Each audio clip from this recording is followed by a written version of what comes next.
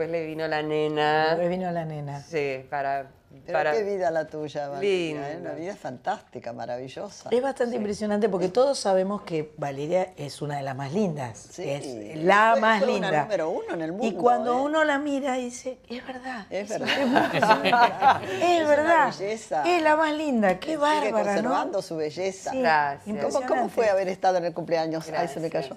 Haber estado en el cumpleaños. No, no lo dejas, querida, en el cumpleaños del, eh, del príncipe. Ah, del príncipe Carlos. Bueno, siempre es, este, que ya es como un sueño de hada, ¿no? En poder entrar ahí a Buckingham Palace. Digamos que por su aniversario, por su cumpleaños número 70, se, se hizo un concierto en Buckingham Palace y después una, una- una comida, una cena.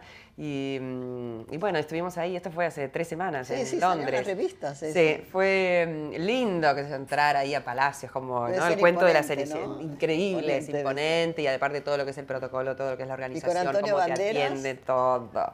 Con Antonio. Antonio, Antonio es un, es un amor de persona. encantador, ¿eh? Es un Adorable, encanto, un sí, encanto Gracias, de persona. Eh, con Antonio nos conocimos hace varios años filmando un comercial Mm. de medias para Italia, ¿no? Y él era el galán, yo la modelo. Y entonces, bueno, y filmamos dos veces. Uno es en la Toscana, donde medio bailábamos y, ¿va?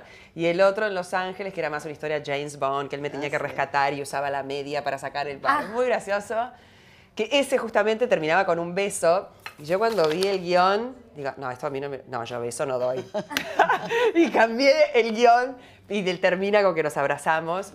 No hubo beso. Pero te perdiste el beso con Antonio Banderas. Eh, Eh, creo sí. que... Perdí el beso para... Sí, ¿No? perdón, mujeres. Eh, pero le dije que no. beso, No, y un una persona papelón, que no porque se bien. después me decía, pero ¿por qué no quieres que, que quedaría muy bien? quedaría muy bien con este final, me dice. Y yo le digo, Antonio, pues que no. Y, Un pues piquito, no. no. No, era un piquito, No, no, no, una no. cosita. Pero es que por una cuestión de gérmenes, de así de higiene. No era higiénico. No, ¿eh? bueno, es que no, no, no, yo no soy actriz, no puedo, no.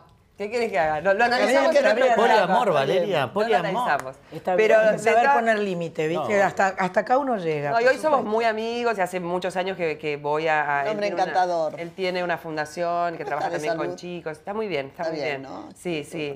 Tuvo que operarse un par de veces, Sí, sí, sí, hicieron, de sí, corazón, pero de corazón. sí, sí, sí. Pero está muy bien Pero hoy tiene en una día. fundación él. Él tiene una Sí, fundación y ayuda mucho en México y en España con, con niños este, en situación de necesidad. Y, y bueno, ya hace una gala en Marbella Ah, hace sí. ya nueve años y Ahí bueno, yo condujo sí, la gala. ahí-